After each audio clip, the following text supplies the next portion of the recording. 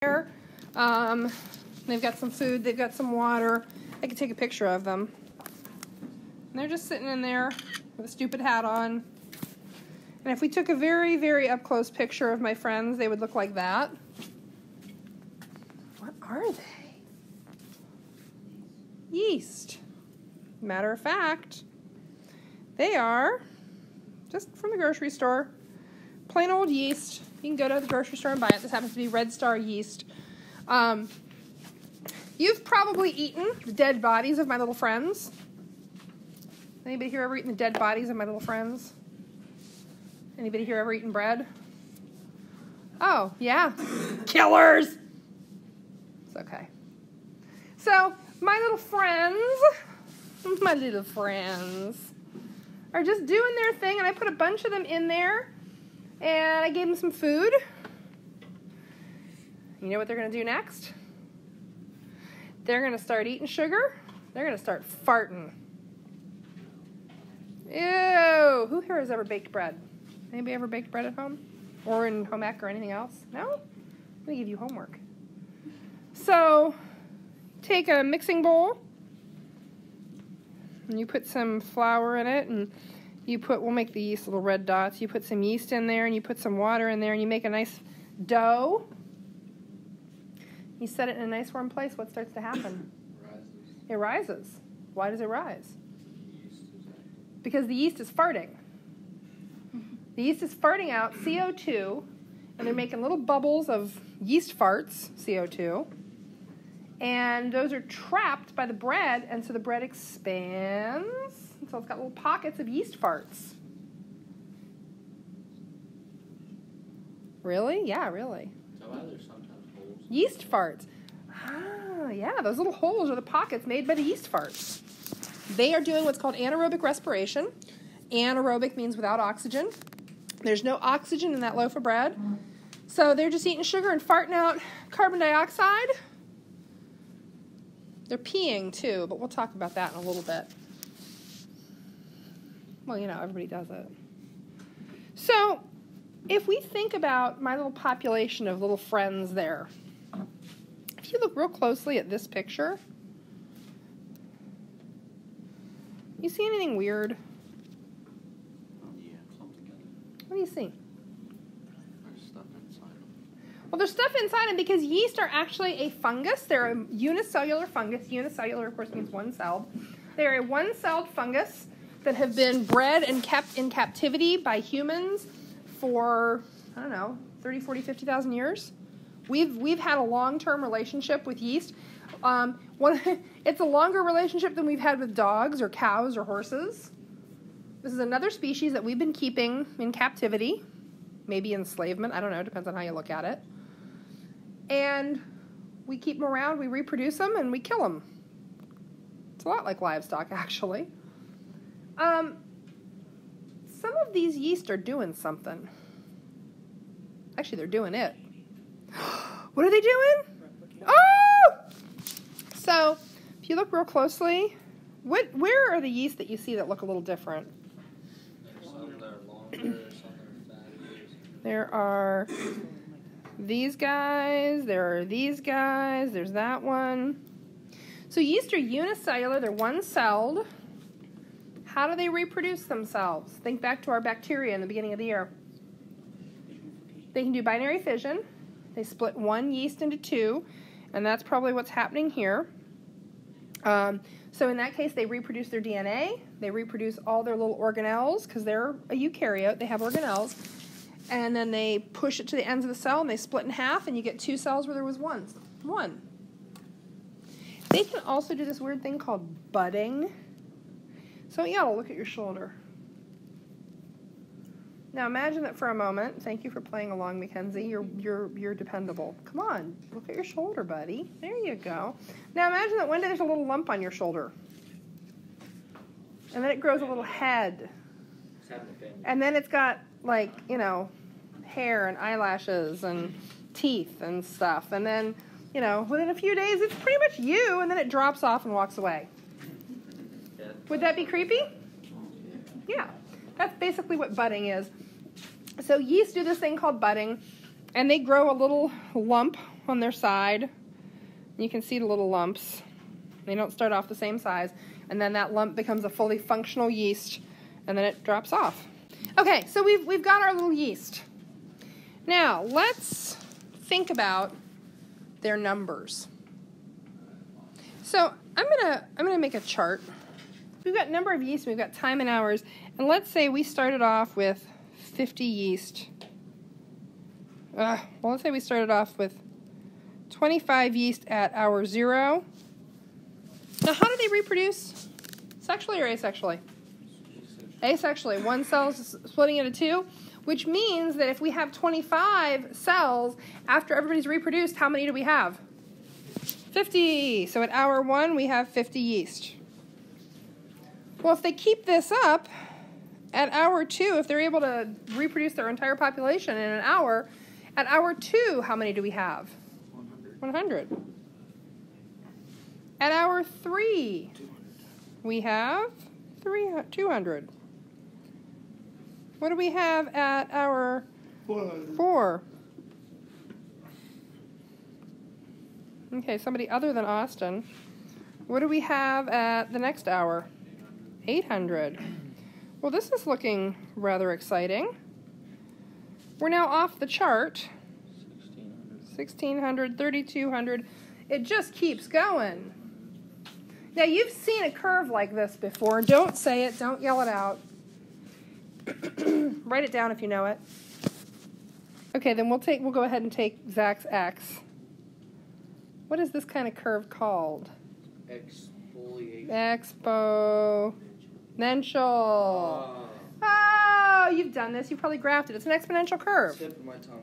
I know. Expo. And then.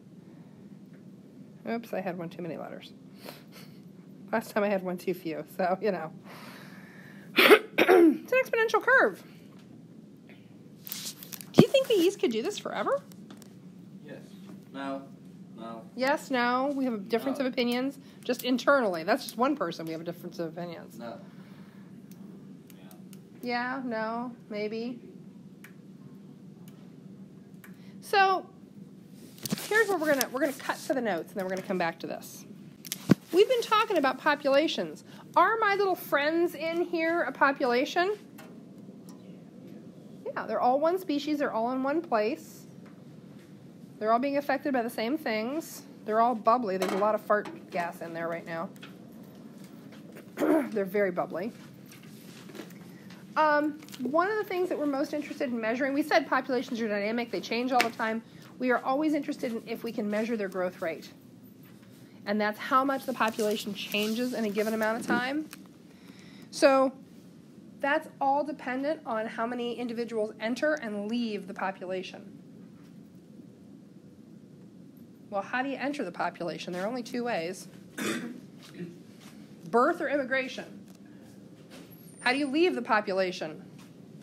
Death or emigration. Now, in general, we assume that immigration and emigration balance one another. There, there are some periods of time where they don't, but those tend to be kind of rare. So, just to make sure you are clear on immigration, immigration, we assume these balance. There are, like I said, there are brief periods in history of some any species where they don't balance. If you are sitting in this room and you know that you have ancestors who came from Ireland, which a lot of Americans do, I can bet you even odds that they arrived here between 1835 and 1850. You know why? Because Ireland was emptying itself out into the U.S. at that point. A lot of Irish immigrants actually died in our Civil War, including an ancestor of my mother's. Like it wasn't even his fight, but they got here and they got into the fight. What the heck? Um, they were emigrating from Ireland. Why? Famine, Irish potato famine. Peak year of immigration from Ireland due to the potato famine is 1840. Huge waves of Irish immigrants coming over. Um, they were emigrating out of Ireland, immigrating here. That is a period where emigration, immigration don't cancel one another out. They don't balance. We had massive net immigration here. And a place like Ireland had massive net emigration. But in general, those two things balance pretty well. So, because of that, we can simplify the growth rate to equal birth rate minus death rate. So, what if we have 100 births per year and 100 deaths per year? What's the growth rate? Zero. Population's not changing in size. What if we have 100 births and only 50 deaths? What's happening to the population? It's 50 and it's positive. That's the important part. It is a positive growth rate. Is the population increasing or decreasing? Increasing. Increasing. You knew that. Well, what if we swap those numbers and we have 50 births and 100 deaths per year? Negative 50. Negative 50. The population, the growth rate is negative. The population is shrinking. So now let's go back to this. Our little yeasty beasties. Positive or negative growth rate? Positive, way positive, crazy positive. And you can find the growth rate by looking at the slope of the line. Now, of course, this one's slope is changing, and we don't talk much about that, I think, until probably Algebra 2. But the slope of that line is not constant, but it's always positive. It's way positive. That thing is crazy steep. This population is growing like crazy. We actually talk about this kind of growth in species. There's a name for it. You're going to be just shocked. It's so surprising. Oh, look at that. It's almost like we've seen that word recently. Ah, what do you know? So when we talk about populations that are growing very rapidly, no signs of slowing down, that is a population that is exhibiting exponential growth. And that's what our little yeasty beasties are doing in their little home right now. They are growing and growing and growing and growing and growing. Now, we had some differences of opinion, some of us even internally, about whether or not they could do that forever. no. No. We got a no, we got a couple yeses, They're gonna die. we got some yes nos. They're going to die. Yeah, but they're reproducing the whole time. So can't they just keep growing the population size forever? Can't it just keep increasing? So let's talk about our yeasty. So here are our little yeasty beasties, and they're growing like crazy. Did I? And I said they're farting out CO two, right? So they're making all kinds of bubbles in there. Bubbles in the bathtub. Oh yeah, we can. You know what? That glove has got way too much volume to really show how much gas they're producing. But look at all the bubbles. And if I squeeze this, remember I squeezed all the air out of it, and there is some actual gas in there. So they are, believe it or not, they are Balloon. farting their little. I know I need balloons, but we're not allowed to have balloons anymore. So, yeah. Anyway. Kids start. No, it's a latex allergy thing. So anyway, we've we've got yeast yeast farts. Did I mention they were peeing too? Yes. You know what yeast pee out? Grease. Alcohol. Huh. Ethanol. Oh. Oh! Put two and two Yeah, you are putting two and two together and you're not even coming up with five. Good. So they're farting out CO2 and they're peeing yeast. Now, what would happen if I stuck a bunch of. Who here? Has anybody ever seen a fish tank? Okay. Do you have a filter on it or some way to clean it? Because if you don't have a filter on it and you just leave them in there, what happens? Die. They die because they use up all the oxygen and they pee and poop into the water until they're in a disgusting soup of their own waste. Hmm, yeasty beasties. Guess what happens if we just let that run till tomorrow? It's gonna die. They're going to die. They're going to run out of food and they're going to be swimming in a broth that's got enough alcohol in it to kill them. So, naturally, most yeast species, we'll get there. We'll get there. Get? Most, we're going to have a full conversation. You're going to love it. Um, most yeast species die when the alcohol concentration in their environment reaches like, I think it's 9%, but I could be wrong. I think 9% is a more recent engineering feat. So by the time you get 9% alcohol in a solution, they die. They can't survive that. It kills them. My husband used to homebrew beer. Does anybody know anyone who has homebrewed anything? Okay. So, when people are homebrewing, what happens to the yeast in the mixture? they die. Alcohol concentration reaches a certain cutoff, they die. It's toxic to them. They're dead. Now, people have tried, just like you can breed livestock for different characteristics. You can breed a chicken that lays more eggs. I used to read a blog from a hog farmer in Vermont who was breeding longer pigs. Why longer pigs? Two reasons. More what? More bacon specifically, because bacon is high profit, and more nipples. So he had actually gotten his herd up to having an entire extra set of nipples, which means two more baby pigs who can get nursed by mama and she can support a larger litter. and he had successfully like increased the average length of his hogs by something like eight or nine inches over 20 years, like breeding the long ones. Yeah. Eat the short ones, breed the long ones. And so people have attempted and been successful in breeding yeast that are tolerant to higher levels of alcohol. It's just a tolerance curve. Think about it. So if you've got a tolerance curve for yeast, and this is percent alcohol, So that's how they make higher that's well, that no, not exactly. So let's say that's your nine percent cutoff. Are there any yeasts that are still alive there? Yeah. Absolutely. So if you can take the yeast that are still hanging on there that haven't been the first to die and you breed them selectively, then maybe your next tolerance curve looks a little bit more like this. And maybe that cutoff is now 10%. I think they've gotten it up to 10 or 11. Um, the, and this question was asked in the last class. Well, then what about moonshine? That's not a product of the yeast. The yeast make the initial alcohol, but then it has to get distilled. So that's a whole separate process. Um, but that's just selective breeding. You're you're artificially selecting a species for a characteristic you want. Just like you can breed cows that give more milk, um, beef that convert feed better, um, longer hogs, better egg laying chickens. You can breed yeast that are more tolerant of alcohol in their environment.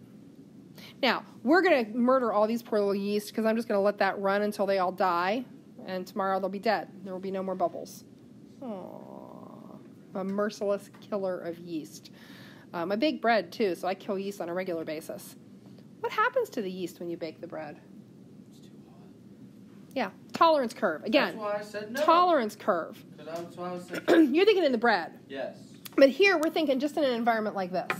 So if we never bake the bread, they will eventually run out of food. If you have a, a, a lump of bread dough rising with yeast power and you just let it go, eventually they will run through the food that they can use and they'll end up with enough alcohol in the mixture that they will die. It becomes toxic to them. So, you know, just like any other species, they have their tolerance limits. Well, then let's go back to our question about exponential growth. Can this go on forever? So, you know, here's our growth. This is sometimes called J curve growth because it looks like the letter J.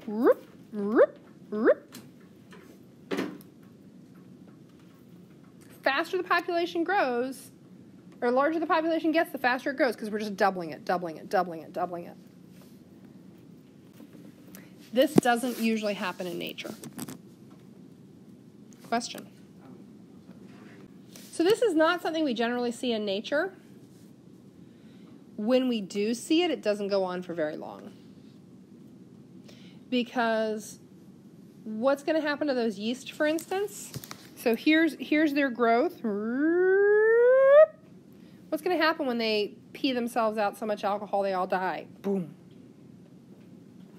So, I want you to go ahead and take your hand. If you're writing, you can pause for a second. This is J curve in a, in a heartbeat. Boom. Boom. Now, come on. You got to play along with my stupid reindeer games. You know you want to. Boom. Boom. Boom. No? you people are no fun whatsoever. Exponential growth is usually followed by some kind of correction. In the case of our in the case of our yeast, nobody's coming to rescue them. We could put them in a giant bucket and give them lots of sugar, and we could keep that population growing and going for days, months, weeks. But nobody's coming to rescue them. They're in an enclosed um, container with only a certain amount of space. They're going to pee out so much um, alcohol, they're going to poison themselves, and they're going to run out of food. So it's a, it depends on which kills them first. Those are limiting factors. The exponential growth model doesn't recognize limiting factors. It says, nope, long as the population's there, it just keeps growing. But we don't really truly see that. Do you remember the megaplate experiment? Those bacteria on that plate did not run out of food. Eventually they would have. But there was a lot of space for them, there was a lot of stuff for them to eat. Bacteria in a lab dish will grow exponentially because they've got so much space, so much food. There are a few other species where we see exponential growth, but again, it only usually happens for a short time. Tomorrow, we are going to start a film. We will do one day of watching it, and then you'll have to watch the conclusion on your own. I'll put the link on Classroom, and you can watch it off of YouTube. Um, but we're going to talk about another species that occasionally experiences exponential growth. With that, um, if you pull out vocab, any part C's that we've now talked about, oh shoot.